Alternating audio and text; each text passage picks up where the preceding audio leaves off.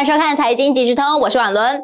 今天台股开低走低哦，而且台积电还降平哦，难道电子股没戏唱了吗？让我们来欢迎李欧。大家好，我是李欧。台北股市今天下跌两百五十五点，为什么今天会跌那么凶呢？因为上礼拜礼拜五的时候，台积电被外资降平。那到底事情真的有这么严重吗？我们看到今天真的跌蛮凶的，一路往下走低，而且收盘收在几乎最低的一个状态。很多投资朋友就感到很担心、很害怕，就一直问：电子股不行了吗？台积电不行了吗？其实也没有这么严重啦。你仔细看哦，这是新闻讯息，上礼拜，而且是在盘后，他说降外资平等到中立，中立而已嘛，就是普中间嘛，五百八十块。那外资的这个标题很耸动，媒体标题很耸动，他说如果你投资台积电。未来就像是死钱一样，因为它股价可能不会动嘛，甚至于会让投资人套牢。那你仔细看，中立的价格五百八十块，今天收盘收多少？五百八十三。那请问你还要杀低吗？更何况，大部分的外资并没有调降目标价，只有这一家美系外资把它降到五百八十块。更何况，请问台积电未来的基本面，它的？晶圆代工的技术是全球领先，未来五年内有任何一家业者可以赶上它吗？没有嘛。所以啦，护国神山还是一样的高嘛。那再来五八三跟五八零只差三块钱，你有必要为了三块钱把它砍出来吗？没必要嘛。那你仔细看下面这条黄色的移动平均线，叫做半年线。半年线有没有从左下往右上？有嘛？那代表说它是一个往上走的一个上升趋势，那这种情况，请问何需要杀低呢？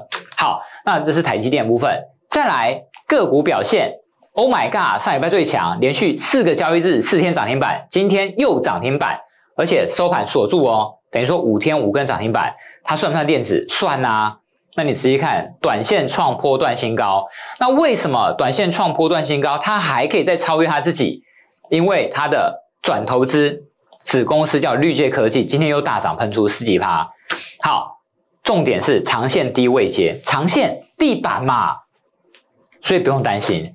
那华勤做这个主机板板卡，你仔细看，工业电脑今天也创短波段新高，做工业电脑、迷你电脑、电竞系列主机板伺服器的工作站，短线上看起来创波段新高。这个六月二号就跟大家讲过了。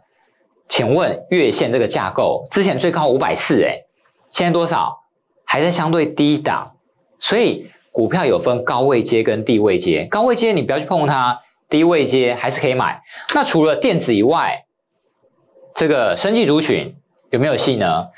今天宝莲父亲做快筛，哎，这个快筛达到快跌停，啊，差四档跌停，那大家又担心了。其实现在看起来好像。单日新增确诊人数剩七十五个，好像很少，可实际上呢，居家快筛还是有一定的需求量，因为我们看到新冠肺炎确诊人数虽然变少，可是死亡人数还是维持在二十到三十之间，代表说还是有些隐形的未被抓出来的确诊患者，所以居家快筛还是非常的需要，所以我想，你看之前只要回到三十日移动平均线。就有支撑。这次今天呢，又回到三十日移动平均线了。重点是长线在低位接，在地板嘛，有没有月线架构？它不是在高档哦，它在是低档，低档。好，那以上就提供给各位投资朋友做一个参考喽。记得加入李欧老师的 Line 跟 Telegram 财经即时通，我们下回再见，拜拜。